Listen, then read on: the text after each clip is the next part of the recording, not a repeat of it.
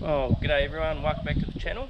In today's video, I'm going to do a quick run through of the Viking ProFish Reload, how I've got it set up, and also a quick look at the gear that I use. So stay tuned. Uh, I've got a couple of top tips that you may not have thought of that will certainly help you out on the water. Let's get into it.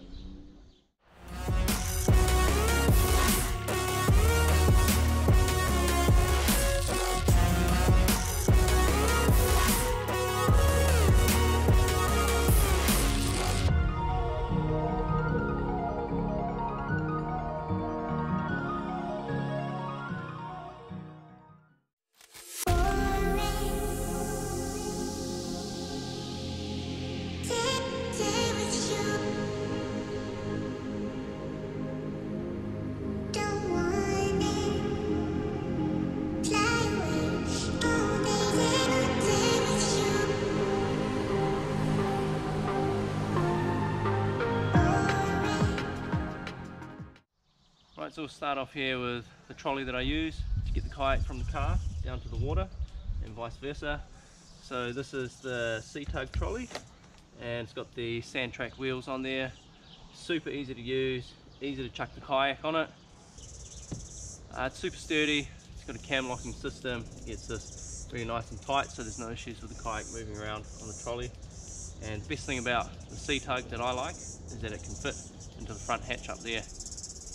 So I'll quickly show you uh, taking the kayak off of the trolley and stowing the trolley up in the front hatch. So to take the trolley off, all we do is loosen the cam lock. Put that down there. Take that over this side. I just come like this. Lift it off, happy. Now to break the trolley down, easy as. Just come out of here like that. On the sides, got little locking pins. Click that up, wheel comes off. Same on the other side, wheel comes off. So obviously I take this apart once I get down to the water. Once the trolley's disassembled, open up the front hatch wheels in first.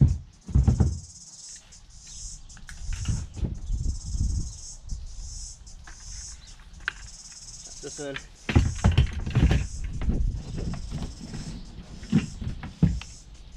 And these slide in there.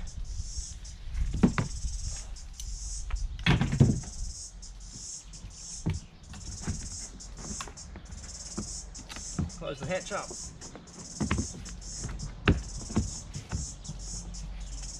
We're away. Oh, nice and tight. Happy days. So just before we go any further in the video, I'd just like to say this isn't going to be a video going over the features of the reload, but rather how I've got it set up and looking at the gear that I use. So now that we've got that cleared up, we will move on, make our way up the kayak and go over how I've got things set up. Right, so you've seen the front hatch heaps of storage in there. Happy days. That's where the C-Tug goes. Uh, we'll move on to the tackle pod. So up the front we've got two HD starports on the right hand side I've got a rod holder mounted which I never use. It's basically just there in case I need it. The only time I've ever used it is when I've brought four rods out with me. Pretty excessive but yeah otherwise it just sits there and looks pretty. On the left hand mount I've got my main camera boom uh, this is what I use to film most of my fishing videos with. So if you're not familiar with starports, they're made by a company called Railblazza and they're real easy to attach to your kayak, your boat, anything really. They've got hundreds of attachments, simply just clicks in, clicks out. Um, if there's an attachment that you think you need on the water, I guarantee that Railblazza has it made. Like I say, real easy to install, uh, the reload comes with a bunch of them. These are standard on the reload tackle pod. Next up we've got the fish finder. I use a pretty basic fish finder setup. I don't generally use it for finding fish but more so for tracking where I am, uh, tracking my drift speed, checking the water temperature and finding uh, contours and change of depth in the water. So this is just a Lowrance Hook Reveal 5, pretty basic, pretty cheap, a couple hundred bucks. And we've got a Burley Pro sun visor on there just to help keep the glare off when we're on the water. Up here is where I keep my soft baits. This is the Gulp uh, soft bait tub. Fits in here really nicely. Uh, the elastic holds it down, doesn't move around. Um, got a whole bunch of soft baits in there. Obviously those of you who watch the channel know that the all-time best soft bait is the bruised banana jerk shad. In terms of what I keep inside the tackle pod, whole bunch of stuff. Uh, VHF radio, usually clipped to my uh, PFD. Got a survival kit in here, just a basic Kathmandu survival kit. You never know when you might need it. Bunch of leader. Uh, I've got 20 pound, 30 pound, 40 pound, depending on what kind of fishing I'm doing. Uh, I've got a filleting knife in here just in case I ever have the urge to say catch a kahawai, fill it up some slabs and chuck some fresh baits in. Still yet to do that, but when I did boat fishing I did love a good bait burley session. A uh, little bait knife, usually just slide that in there. Easy as, doesn't move around, easy to get to. Use that for ecking fish and gutting them. A little measure for the fish. Uh, generally, if I have to measure it, then it's too small, so it doesn't really get used, but just in case. Pliers, split ring pliers, cutting line, changing jigs, stuff like that. Spare knife, should I lose mine overboard. And then two tackle boxes. Uh, these are the Ocean Angler tackle boxes. They make a range of sizes. And the thing I like about these is number one, they fit nicely inside the tackle pod. Number two, it's got this waterproof seal around the outside. I've never had any problems getting water in there. So this one is mainly for my soft baits, got jig heads, um, some sliders and whatnot. This is the one I use most. And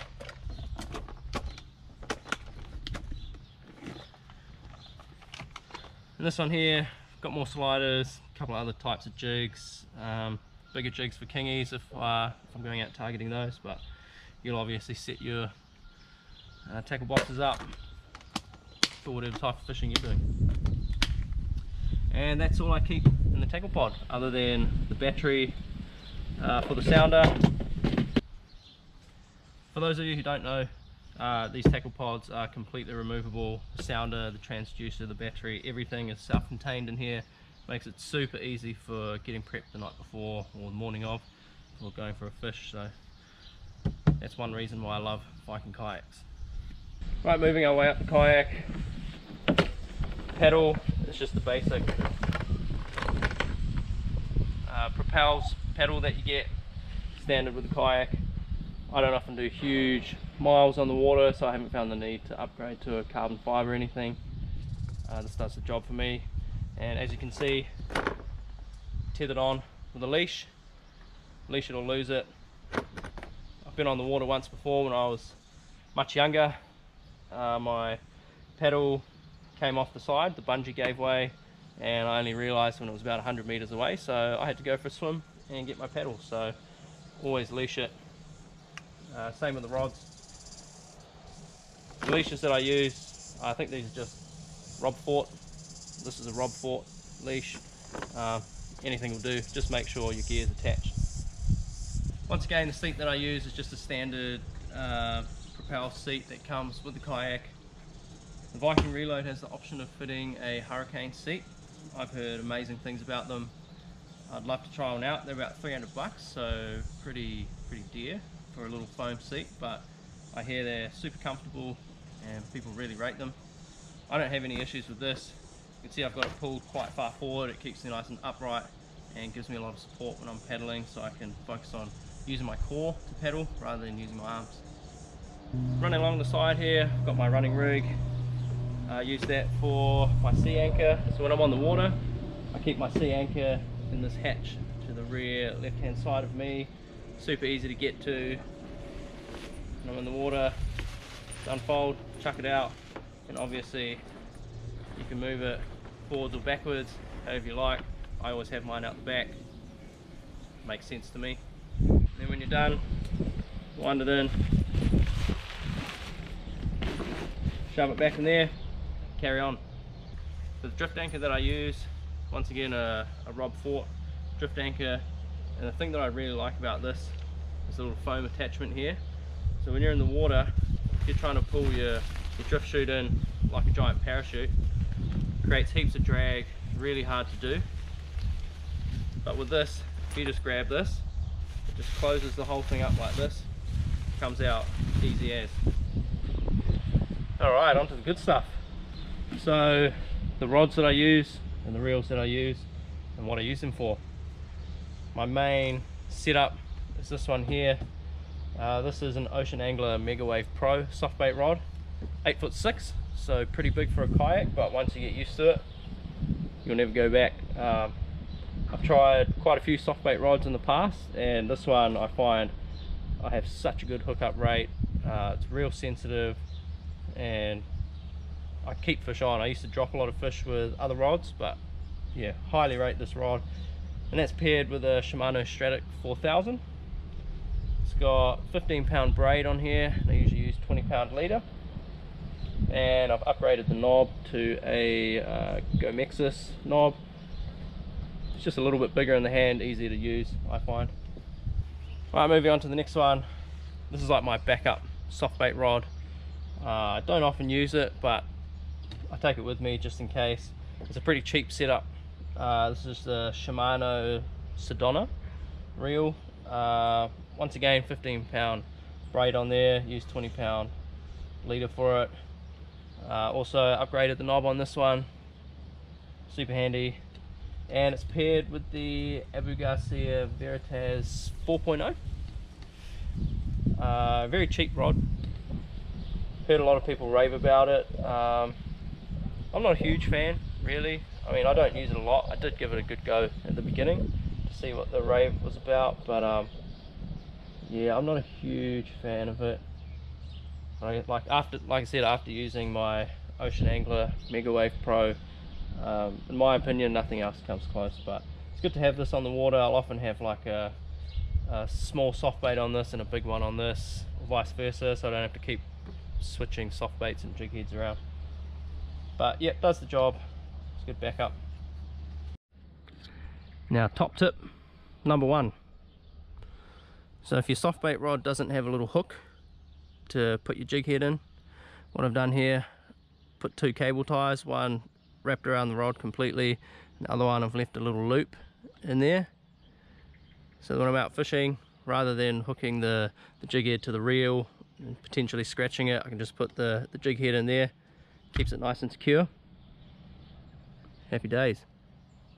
Right so the last setup that I take with me on the water is my slow jig slash slider setup. Mainly used for sliders. I used to fish sliders all the time before I got into soft baiting. Uh, the main reason for that is just because they're so easy. You literally drop them to the bottom slow wind nothing else.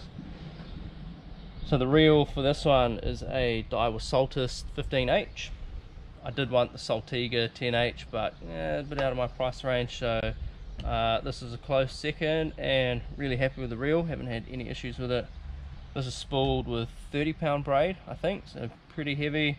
And usually use like 20 pound 30 pound 40 pound leader whatever I'm feeling. And it's paired with the uh, Ocean Angler Powerflex bender. Pretty sure this rod is specifically designed for sliders which is why I got it. As with the soft bait rods I've tried uh, multiple slider rods as well and this one just outshines the rest I reckon I'm in no way affiliated with Ocean Angler or any of their products but uh, I do really rate their, their gear. And I think this rod and the soft bait rod are about 250 bucks a piece so pretty cheap for what you get. Like the quality is amazing and they fish really really well. Alright, and then the last rod holder at the back here I've got my landing net. It's easy to grab from the seat. Um, rod in the left hand reach around get the net happy as as you see everything's leashed on. You don't want to lose anything on the water. So the reload has two HD starports at the back as well. I use the one on the right hand side for my second camera here. Don't often use this camera. Uh, I quite often forget that it's there but yeah either way two starports at the back which I use uh, mainly for mounting cameras. Alright top tip number two so these little nylon eyes that come on the kayak, they get pretty crowded when you're putting rod leashes on there. I think you can only fit one, maybe two. So what I've done is I've just installed these stainless steel rings. So now I can fit look, two rod leashes, a seat, room for more if I need to.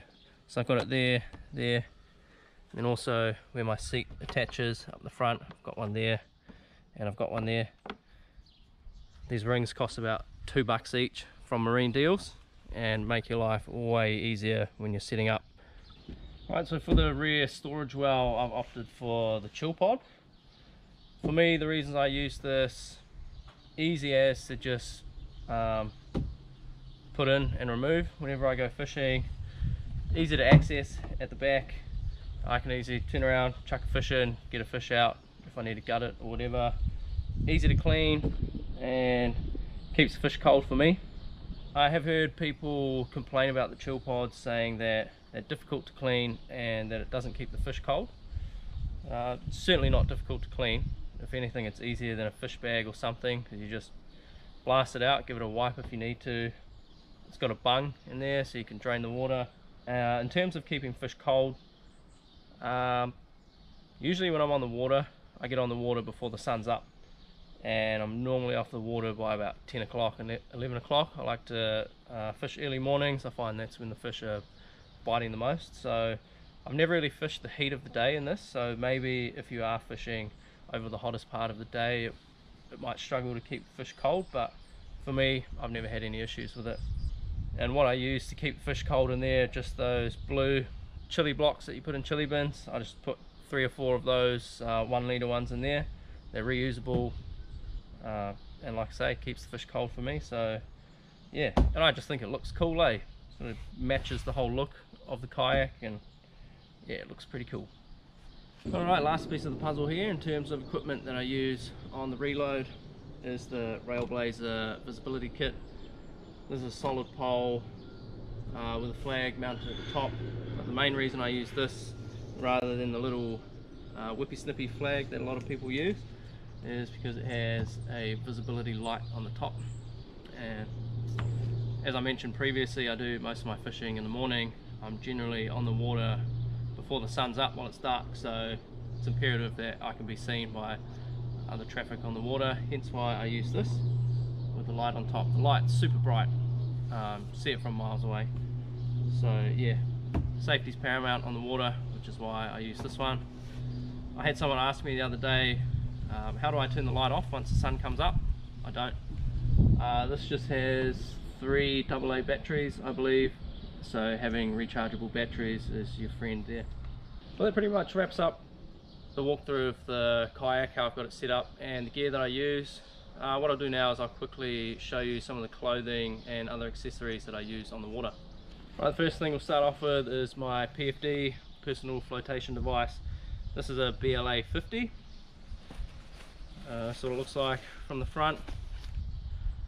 It's got a couple of storage pockets here with zips which I find really handy. But the big thing that I like about this is that it's got room at the back for a bladder. So I've got a three litre CamelBak in here which means I can just have a sip of water whenever I want. I don't have to muck around getting a water bottle or anything like that. Also keep a safety whistle clipped to the top here should I ever get in trouble and need to use that and my VHF radio clips into here. Once again cable ties coming through for the win. Uh, there were no clips on here big enough for me to clip the radio in so I've just put a cable tie in there and the radio sits nice and snug in there. In terms of gloves I use shark skin gloves. They are super comfortable super warm. Uh, these have the thumb and the first two fingers missing which make it easy to tie knots and deal with tackle on the water inside it's like a like a woolen material So like I say, they're super, super warm. quality of them is really good. The last pair that I had, I used for a good three years straight. Absolutely abused them. So yeah, shark skin gloves. I think they're about 60 bucks or something, but well worth it. They're awesome. Also keeps your hands from getting blisters or whatever when you're paddling. In terms of dry pants, normally use these in the winter. If it's summertime, I'll just wear stubbies or something. Uh, these are Razdex dry pants, about 130 bucks I think. Uh, they're awesome, great quality and great company to deal with. It's got adjustable Velcro waist straps. Uh, yeah, these are pretty dirty. I just give them a quick rinse down. I don't think you're meant to machine wash them. I think it'll affect the, the waterproofness. So yeah, I just give them a spray down once I'm done. So they keeps a bit of life in them, you know, in terms of fish guts, blood, all that good stuff. In terms of footwear on the water, I usually use these Cressi booties. I used to use other ones which just had like the neoprene bottoms on them, but I found that if you're using the rudders lots, it can get a bit sore on the feet. So these ones have like a solid bottom on them. Uh, nice zip on the side, so it's easy to get them off and on. And these are five mil. These are about 40 bucks, 50 bucks. Um, keeps your feet warm too if it is cold. Really good to use. I really rate these ones. And lastly, you quite often see me wearing this neck buff, whatever it is. Uh, this is just an ocean angler one.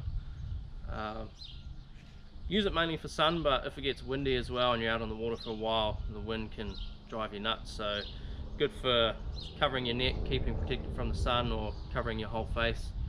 Um, if I am fishing in hot weather then I'll always put sun cream on, use this, try and protect myself from the elements as much as possible. Uh, just makes it more pleasant on the water. And lastly, good pair of sunnies, uh, essential on the water. Uh, get a polarized lens, helps you cut through the glare and actually see into the water the reflection of the sun off the water can actually really damage your eyes. So um, if you're not using them for comfort then use them for safety because if you spend long amounts of time on the water you don't want to damage your eyes. And you also always see me wearing a hat when I'm on the water.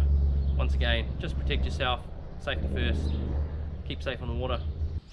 I think I've pretty much covered everything that I want to cover in terms of what I use on the kayak where I put things how I've got things set up uh, if I have missed something, I'll cover it in a later video, but uh, if you have any questions, uh, any further questions on my setup or you want any advice, recommendations, then please leave a comment below.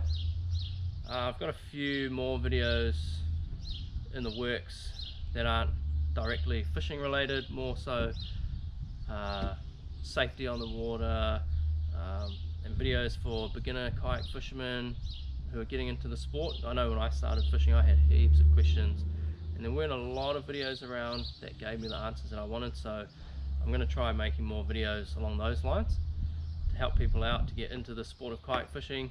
It's an awesome community to be a part of so if I can help people in any way possible then uh, that's a good thing. So like I said if you've got any further questions leave a comment below.